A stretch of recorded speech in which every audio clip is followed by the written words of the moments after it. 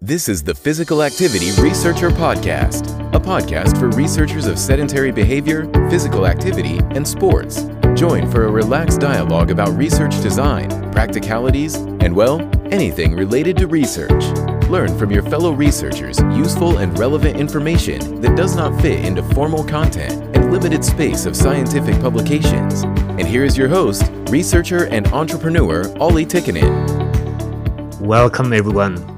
I'm very excited about today's episode as we are talking about activities to improve children's cognition through coordinative cognitive motor movement, executive function skill building strategies, and social emotional learning. Our guest holds a Doctor of Psychology degree from Pepperdine University, California. She's a Harvard trained psychologist, an international educator, author, and a pediatric psychologist in Scottsdale, Arizona. She has worked with thousands of families, teachers, and clinicians around the world to bring more cognitive skills to classrooms, homes, and clinics. She has authored several books, including Musical Thinking and 70 play activities for better thinking, self regulation, learning, and behavior. Ladies and gentlemen, I am honored to introduce our guest, Dr. Lynne Kenney. Welcome, Lynne. How are you doing? Oh, I'm doing wonderfully. It's so nice to be with you today. Yeah, it's it's my my pleasure to have you. So, how is everything at the moment in in Arizona? You know, overall, we're well. Um, my practice, I work in a dyslexia intervention practice. Um, with we're multidisciplinary, and our practice um, has been open the whole time. Um, we do wear our masks everywhere, and a lot of our schools are not open. Um, some of the kids are going to school like hybrid. They'll go to school, like maybe they'll take one grade a few days a week, and then the rest of the kids will be online. So I'm doing a lot of therapy online, to be honest, and then seeing clients live in the office uh, Tuesday, Wednesday, Thursday. But I, I, think overall, people here in Arizona, um, are very active and they take their health pretty seriously. So we we have been okay. Hmm. sounds sounds good. So you've been working on on many themes, but should we start first, for example, from physical literacy? So so what is it and why is it important? Well, there are a few kind of terms that I, I, think are really interesting for physical educators and kinesiologists and people in education. You know, physical literacy generally is, I, I define it as the awareness and understanding that motor and sensory skill competencies precede the cognitive skills that facilitate academic, social, behavioral learning. And I think it's such an interesting time. And that's why it's f- really fun to speak with you uh, because you're in Finland and Norway. In America, even though like 76% of the children do not get an hour of MVPA, moderately vigorous physical activity a day, even though, you know, we don't get enough movement, they are cutting arts, they're cutting music, they're cutting physical education teachers and when we talk about the research that we'll chat about today, it's astonishing to me that we're still in a place where we want the children to sit still in order to learn when most kids need to move to learn. Mm. Yeah. So you had a different definition for physical literacy. Could you could you open up it a little bit more? I think it was maybe difficult for everyone to comprehend right from from that description.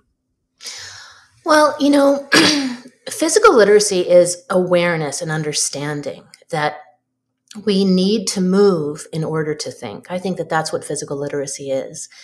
And it's really surprising that there is a segment of the population that exercises frequently and understands that movement, any type of movement, ballet, cleaning your home, active transport, walking to school, walking your dog, um, that is really fundamental to the health of human beings. Yet, many children, um, they sit on their technology all day. They play their games um, in classrooms. They they sit much, much, much too much. Um, and I think that if we can disseminate some of the applied neuroscience research in a, as you know, as you alluded to, in a simple and clear manner, we can help our communities and our schools and um, our families to get out and move more, not just for their general health, but for their long term cognition, learning, and achievement. Mm. And and you said that you need to move to be able to think. So how how is it like that? Why is it? What is it from neuroscience point of view that why do we need to move to be able to think? Well, you know, we are agricultural beings. You know, millions of years ago, we roamed the earth picking berries and plants, and our whole life was about moving from place to place in order to sustain ourselves. And then when the Industrial Revolution came, we would sit more, we would take trains, we would take planes. Um, and then when classrooms, um, you know, really industrialized, we really thought that the kids need to sit in the classrooms in order to learn when that's actually not true at all. There's actually a fascinating um, study by Hardiman in 2019 where they describe out of Johns Hopkins that not only is movement important for learning, but arts integrated um, learning is really important, like, you know, doing music, doing dance, um, drawing, writing with visual note taking. All of these, I would call them foundational enrichment activities, are really important in order for us to attend better, stay on task, encode well into our memories, self regulate, and kind of exhibit better what's called response inhibition in executive functions. And that is your self control, your ability to really think before you act. And if we can provide opportunities to have active classrooms and kids having recess several times a day and you know kids walking to and from or biking to and from their schools everything about their learning and behavior is going to be better mm. so so you said that we are agricultural animals mm-hmm. so is it that we have evolved in a way that somehow activity, physical activity is so fundamental to us that we kind of misfunction if we don't move at all. Well, that's absolutely true. Yes, that's absolutely true. I mean, the more sedentary you are, um, you know, sedentary, not moving, um, the, the your social interactions are um, diminished, your academic learning is diminished, your cognition is diminished, you have higher rates of physical illness, be it obesity, diabetes, um, cardiovascular illness.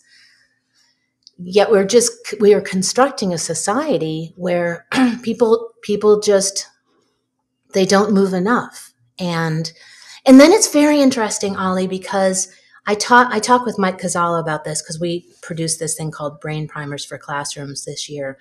And I tell him, Mike, if we just did more jump rope, more clapping games, more mm. of the mm-hmm. things that people did in the 1950s, and I'm not sure if they still do them in Finland. Um, if we if we added more of that type of enrichment to our lives, Mike and I kind of wouldn't have a job because we wouldn't have to create Brain Primers and I wouldn't have to travel all around the world teaching people, you know, this concept of motor cognition. So it's kind of interesting. And one thing that I also say to our audiences, which is very true, is that much of the physical enrichment necessary for cognition and development, it is free. It you don't have to have a bike or go to a gym. You just need to move your body. you need to walk and run and clean your house and play with your children and go to the park. And I just think it's so interesting that in our society, we've created all of these um, structures that we have to pay for when really things like jump rope and and you know hula hoops and playing with balls and kicking a soccer ball around i mean those are pretty much very very low cost activities yeah yeah that was that was interesting how you said that we we are kind of misfunctioning if we are not moving and it's it's affecting our thinking and and brain function. And actually a couple of hours ago i went to a outdoor gym and when i was walking back i was listening one of the podcasts you were in. And i'm not even sure what you were saying but from that it inspired an idea somehow. I, i'm not an expert this but i kind of got an idea that why activity level and posture could be linked to thinking that that probably there's like um, like from evolutionary point of view when we are for example sleeping we are processing acquired information and when we are awake we are taking in new information. So those are kind of in the extremes but how is it for example when we are relaxing are we in the mode of taking in new information or more in just processing what we have taken in before. So could it be that in the classroom, if you are too relaxed or too inactive, it's not maybe mind is not maybe in the mode of receiving information, but rather just kind of processing the earlier information. So what do you think? This hasn't passed peer review or even my own review as I got it just a couple of hours ago, but could could this make any sense? Well, I think that what you're alluding to are what I call the pre literacy skills. so we usually think of pre literacy as an example if we're teaching like three, four, and five year olds. We used to think of pre literacy as their early counting and their numeracy and their letter recognition. But we now know exactly what you've said. We have, there are all these things that precede our ability to learn. And posture, weight shift, um, balance. and then after that, our basic motor skills all precede our learning. It's very interesting because developmental coordination disorder, which is kind of a newer diagnosis in the DSM 5, is basically when people have low coordination. Um, they have poor bilateral movement, they have poor hand eye object, um, yeah, hand object skills. They um, they can have poor fine motor skills. Those people, those kids, generally do not achieve academically as well as kids who are fit. And the reason that this is so is that brain fitness is a whole body experience. So, brain fitness is this healthy state of neural circuitry in the brain where oxygenation and the motor firing of the neurons and the communication between the various hubs of the brain are working really efficiently. And we know that in children who have um, neurobiological diagnoses like DCD, dyslexia, uh, ADHD, depression, anxiety, to a large degree, their brain fitness is lower than kids who are achieving well. So it leads me often to think that we've got to move away from this dichotomy that the mind or brain is one thing and the body is another thing because mm. the two are constantly working together um, at a very basic motor and sensory motor level in order to provide us opportunities to, as you said, encode, you know, basically attend to the stimuli, take in the knowledge, compare mm-hmm. that knowledge to previous knowledge, and then basically we make a decision. Do we need to store that information for future use? Or is it not so important so we can let it go? Mm. It's it's really fascinating. So you said that it's pre-literacy, that it's kind of precede the learning, that posture weight shifting, and everything would be would be wh why do you think, for example, posture like why does it have an an effect on our brain function? What's what's the point? Why has it evolved like that? Well, I mean, I have a colleague named Shelly Manel. She's a pediatric physical therapist in Canada, and she's the one who brought to my attention posture, weight shift, and balance. And then when I started studying the physical therapy literature, it turns out that posture is basically what she's taught me is that having good posture enhances your oxygenation to your brain. And there's actually a study by Peper that showed that when kids were slouching over trying to learn their math, they did not learn as well as when they had proper posture with their core tightened and you know their shoulders up back and down i actually teach this in our clinic in our um in our workshops that what good posture actually feels like and a lot of us over time especially me you know i'm sitting at a desk a lot i ha- i do have a exercise um, bike underneath my desk. So I pedal pretty much all day long as well. But we, we have a problem with our musculature in the front of our shoulders because we're hunched over typing all the time. Or for people who are gaming, you know, they're using their thumbs just gaming all the time. So the pre-literacy skills are broader than posture, weight shift, and balance. But I think mm. that those sensory motor pieces are so central to what makes us human that we need to fix those things first and then we can move on to the other things which we would call the executive functions um, you know so i call them i call the most prominent executive functions sam self-regulation and self-control attention and memory there are many more but if you don't have your sam working well then as Dr. Bruce Wexler says at Yale, no matter what you introduce to a child who, who doesn't have their SAM working, it's going to be like pouring water on a bottle that has the lid closed.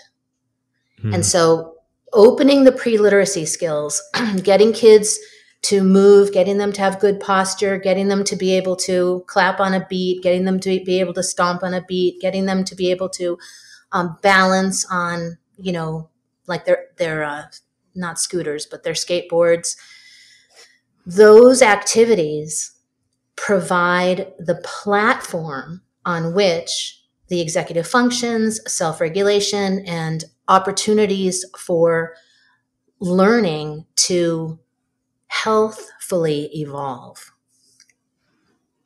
Mm, fascinating. I, I really find this really interesting. So, you said that the posture is about oxygenation to the brain and slouching makes it different. And I, I really believe that there's a thousand year culture of meditation in certain posture, and it's pretty much how you how you described. So I don't think it's just by chance that they sit in a certain mm-hmm. posture. This podcast is sponsored by Fibion, a research device that has been shown to be valid in tracking sitting, standing, physical activity, and energy expenditure. Furthermore, Fibion has been shown to be valid categorizing physical activity into light, moderate, and vigorous intensity. In addition to scientific accuracy, Fibion provides automatically produced and easy to understand reports for research participants. Get scientific validation and learn more about Fibion at fibion.com/research. Fibion, from researchers to researchers. And then then you mentioned that even like clapping on the on the beat and sense of rhythm is important.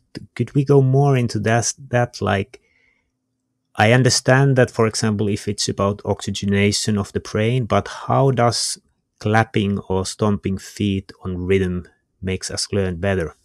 Hmm. Well, this is one, it's a newer area of research. So when I'm teaching in our courses, um, you know, what is evidence based versus what is clinically observed, et cetera, et cetera.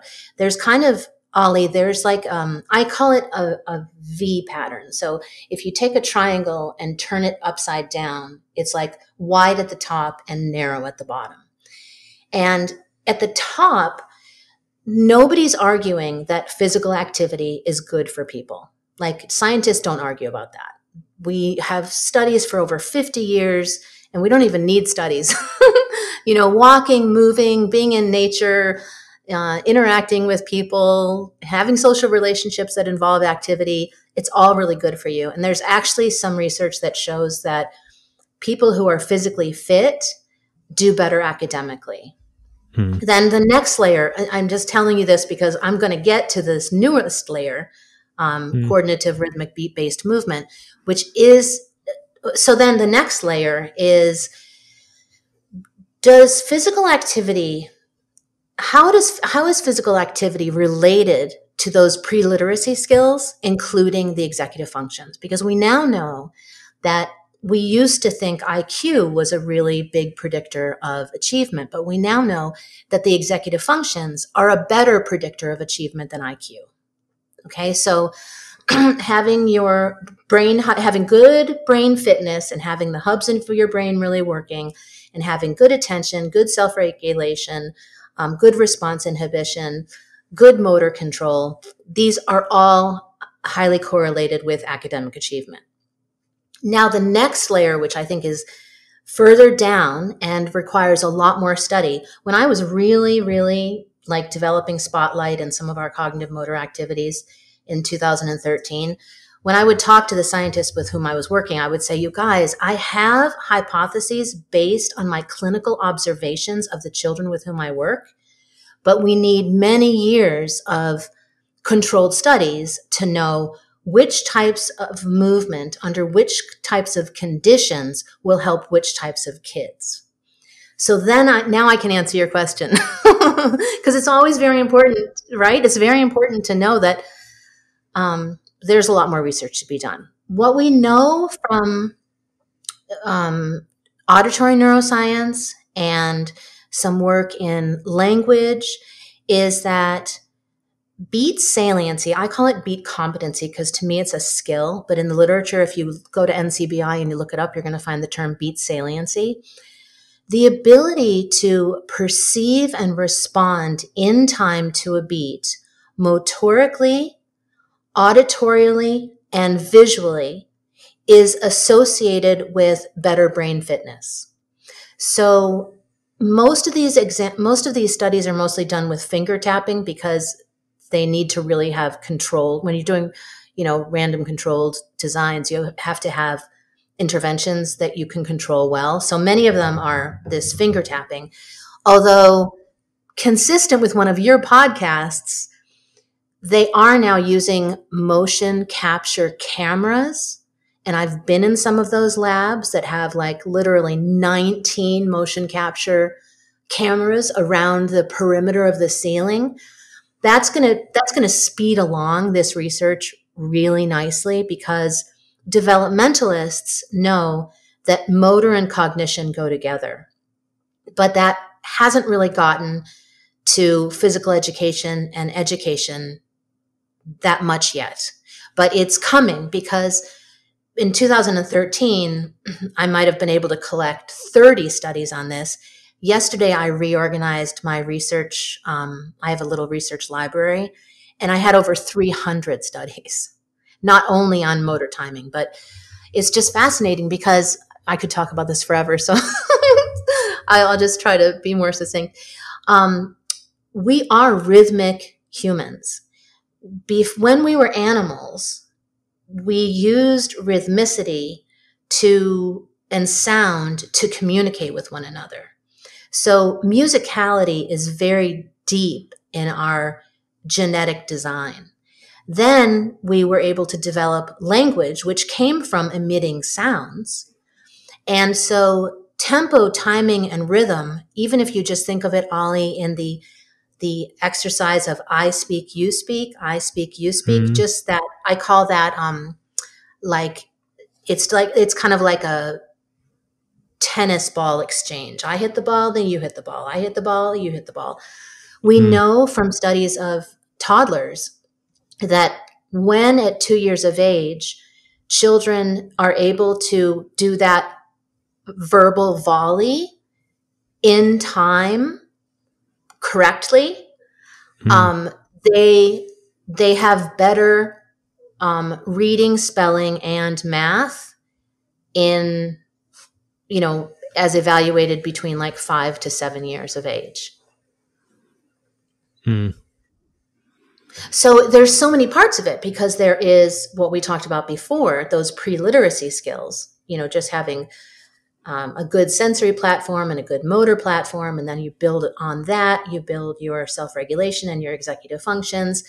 And then as a part of that, um, coordination, rhythmicity, and timing are all very important to our human exchanges, but they're also important to our learning. Mm. Yeah, it's it's very interesting. So I, I try to wrap up. So you said that we are rhythmical animals, that it's in our genetic design, and that we we communicated before with with sounds. Do you do you see it like a bird singing, and and or what what animals do you think with the sounds? In in this case, I, I don't know how the monkeys actually even communicate. Is it is it rhythmic? Sounds? So how how does it work? You know, there is uh, like um, an animal. Um, it's not anthropological, but there's a field of study about this. I'm not that knowledgeable about it. Um, what I've paid more attention to is like there's a really good article that you would really enjoy by Jerry Lesemann. And mm. it's about thinking, talking, and walking and the relationship between motor cognition. And it was written a few years ago, but it's still a really good article. I can get it to you.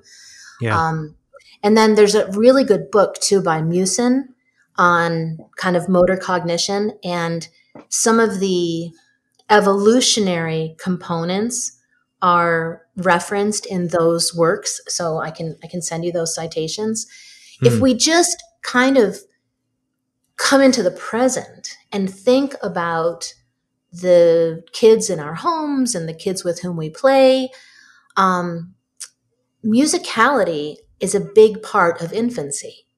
Tapping things, um, using spoons on, you know, on little drums or even equipment in your kitchen, um, playing sing song, learning the give and take in communication, the give and take in walking and movement, the give and take in play, the give and take in, you know, just I put a cube in, in a little box and then you put a cube in a little box.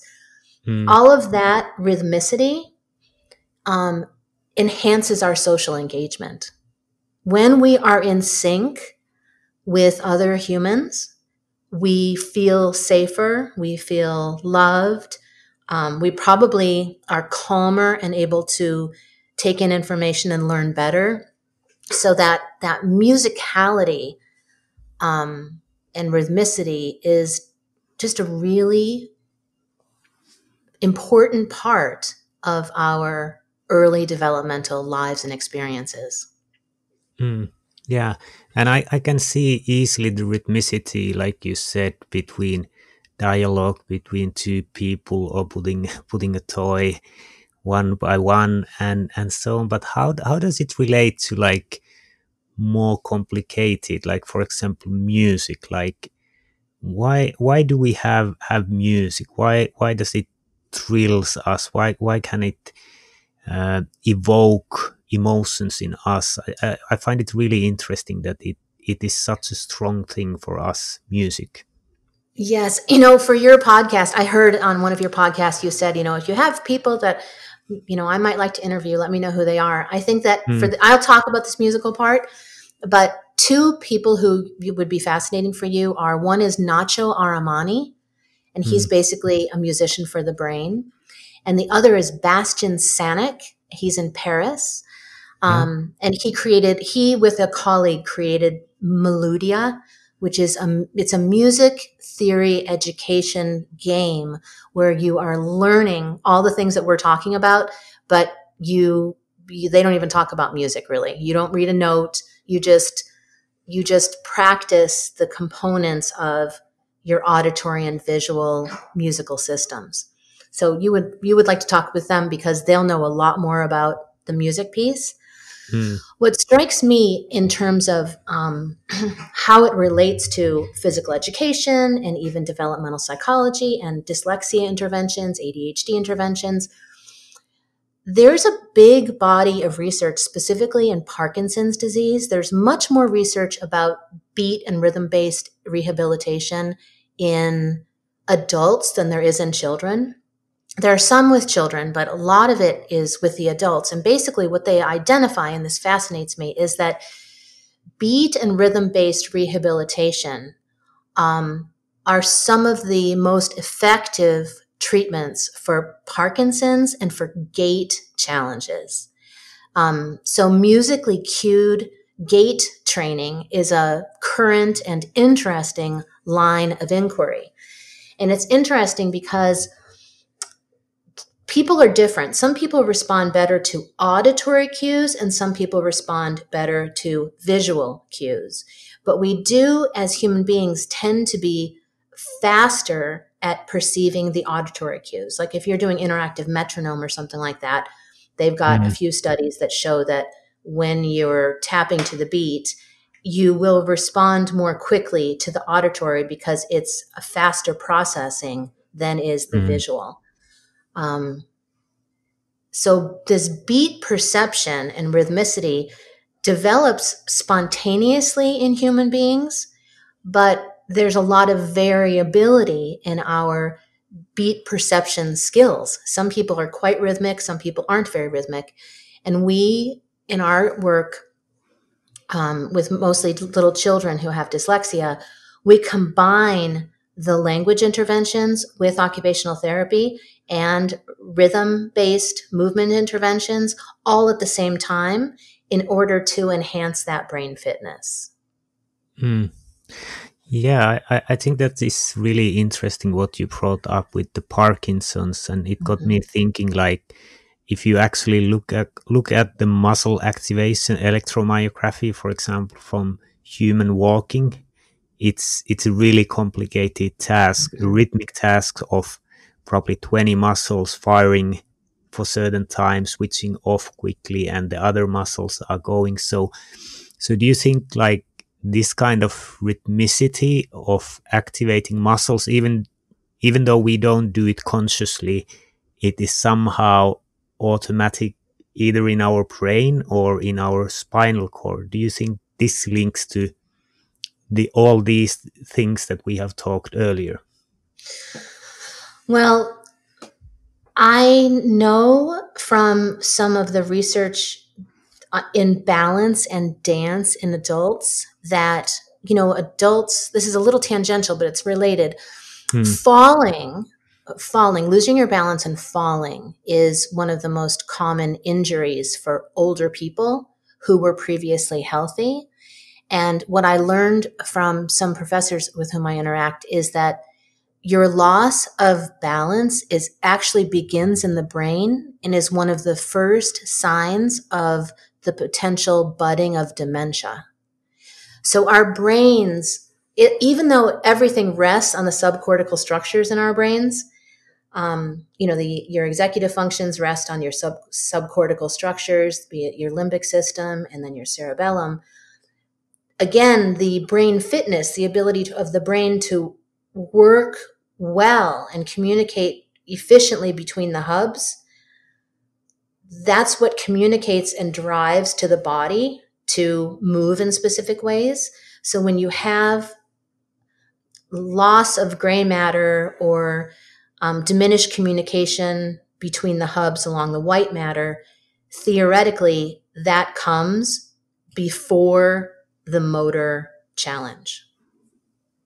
And we could talk, I mean, there are probably people who know this piece much better than I do, but I was really fascinated to learn that it's not that your body goes when you're older, it's that the guide of your body, your brain working with your body, is what begins to go. Mm. And and you have mentioned many times the word brain fitness. It's it's a very very interesting term. Could you could you tell a little bit more about what all is included in the brain fitness and and how does it does it work? Well, there's a good report by um, Brain Futures in 2019. I can get you that as well. In fact, all most of these links are on my blogs, but I'm happy to send you some things. Um, you know, we've got we've talked about pre-literacy, we talked about physical literacy. Brain fitness is the ability of the brain and the body to work together in a with with highly effective communication between the circuitry really and we really know that movement physical activity specifically including moderately vigorous physical activity where you're actually increasing your endorphins, you're increasing your oxygenation, you're getting your neurotransmitters to, to really communicate, you're increasing your BDNF. Um, those are all very important in order to develop better brain fitness. But there are other parts to it because you want to be practicing decision making, planning, um, thinking things through, response inhibition, self regulation, you know, modulating the internal energy within your body. That all comes together, I think, in what I would call brain fitness. So, brain fitness to a lot of people is about just cognition. To me, brain fitness is about the the relationship between the brain and body, hmm. facilitating the health of both. Mm. And and you said that especially the moderate vigorous physical activity is is important. It releases endorphins, neurotransmitters, and so on. How do you see the continuum from sedentary behavior to light activity, moderate, vigorous, and then maybe even short term sprinting or something? How how do you see these different intensities in relation to brain function? Well, I think that people in kinesiology would probably have some pretty informed opinions about this. In my reading and, you know, reviewing of the literature over the past like 10 years, we used to as a society think you've got to go to the gym as an example for 45 to 60 minutes you know, but now we realize that all forms of movement are beneficial. You want to have good flexibility. You want to, we've already said you want to have good balance. You want mm. to have good predictive power in your movement. Like if you want to reach for a cup of water, you want to actually reach properly for that cup of water.